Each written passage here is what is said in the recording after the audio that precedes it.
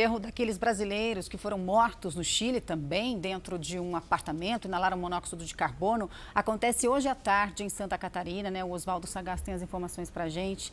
Bom dia, Oswaldo. O velório já começou?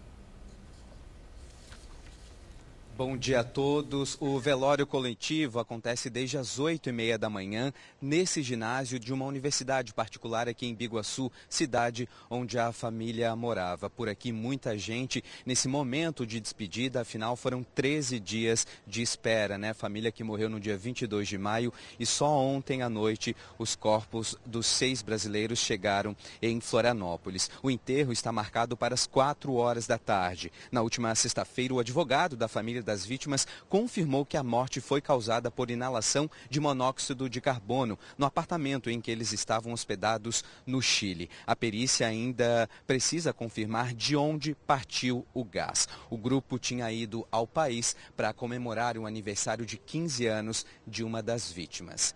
Voltamos ao estúdio.